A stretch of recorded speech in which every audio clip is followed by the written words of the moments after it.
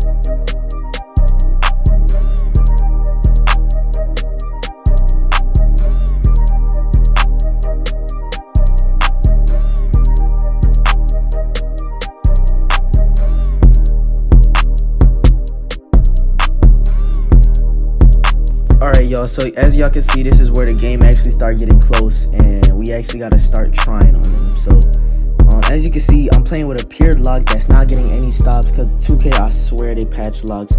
I'm low-key happy about it, but at the same time, it's cool. As y'all can see, he just took the shot. I don't know why he would take that, but at this point, we're just trying to get it over with.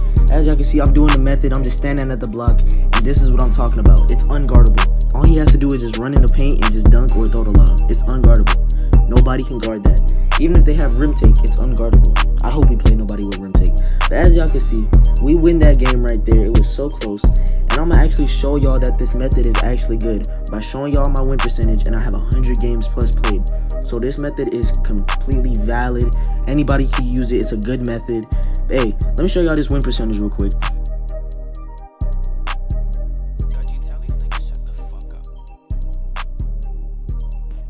Alright, so y'all, the moment that y'all been waiting for, my win percentage, Kaurti's win percentage. My win percentage currently is at 89.7. I know I said it was a 90, but right now it's currently a 90. I upload, I recorded this video like two days, two days ago, but I have an 89.7 win percentage, and I'm actually good at this game. So I'm telling you, this method works. All right, and like more than 60 of the games played, I've been doing this method with this dude right here.